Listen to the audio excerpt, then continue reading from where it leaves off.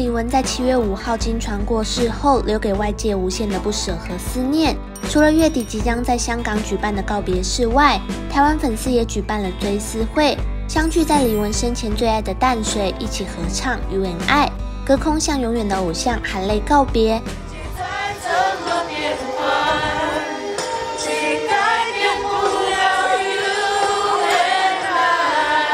而在 Coco 离开后所留下大约四十多亿的庞大遗产，后续将如何分配也受到关注。据港媒报道，李玟生前有签长命契，表示在她过世后，财产应该会直接转给妈妈或姐姐，老公 Bruce 恐怕是无法分到。而至于 Bruce 的两个女儿是否有继承权，律师李怡珍日前在节目中也表示，由于李玟生前并没有小孩。关键在于和布鲁斯结婚后，李玟是否有和两名妓女去办收养程序？如果有的话，两名妓女才会有继承权；如果没有，在法律上就只是姻亲的关系，其实是拿不到任何一毛钱。日前也传出布鲁斯想找律师来推翻李玟的遗嘱，不过由于长命契的签署，配偶跟妓女的继承权将遭到限制。